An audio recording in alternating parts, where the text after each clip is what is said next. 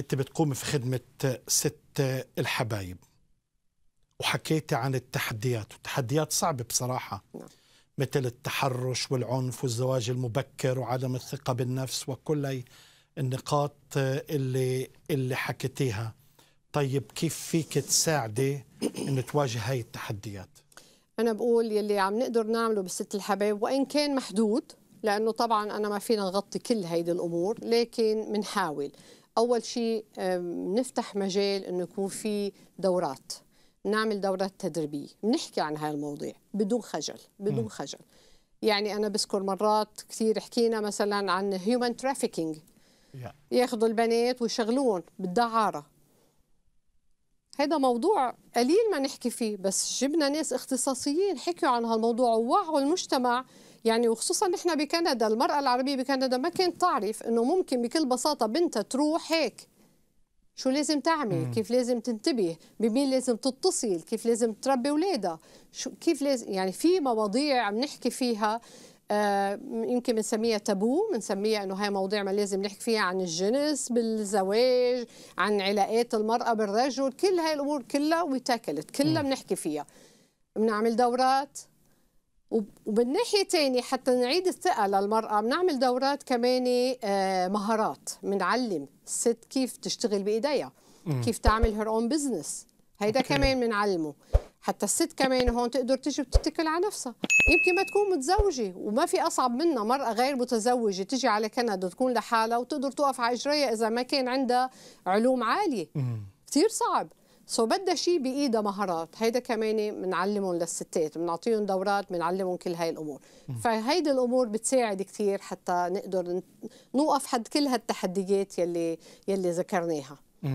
طبعا أنت عارفة أخت إليان إنه إحنا خدمتنا آه، يعني هي بتصل تقريبا لكل أنحاء العالم في اللغة العربية من أستراليا ل لأمريكا.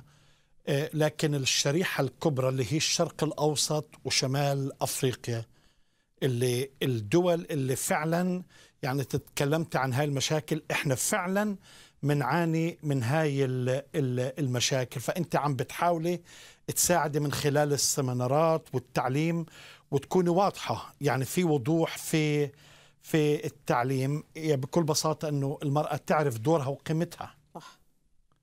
وهذا اللي أنتم بتحاولوا تعملوه.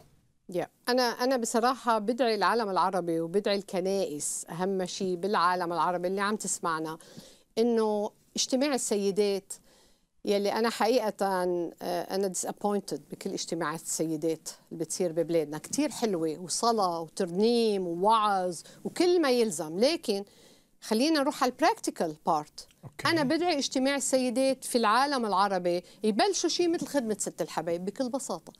في ستات عندهم مقدرات الكنيسة عندها مقدرات الرعاة عندهم مقدرات. طب ليه ما بنخلق خلية؟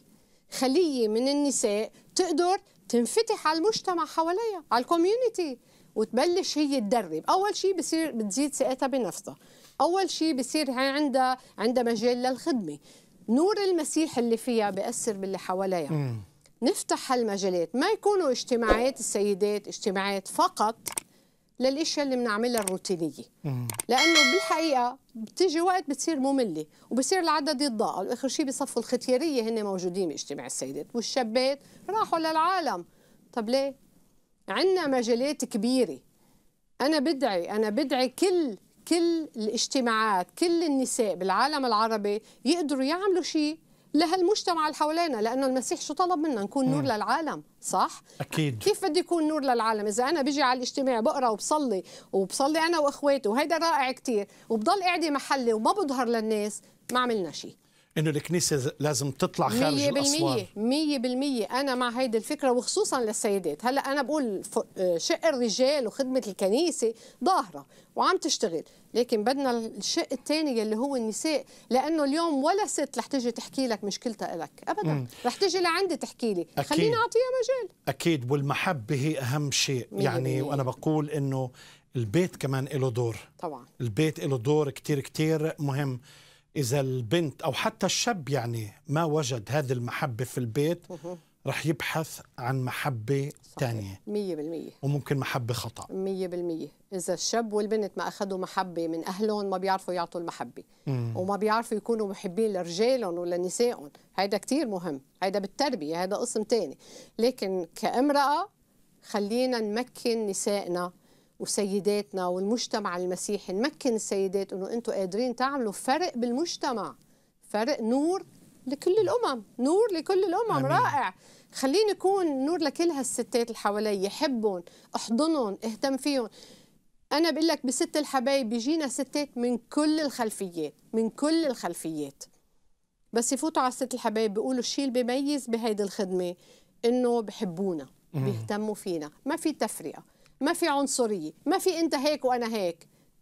ونور المسيح ببين.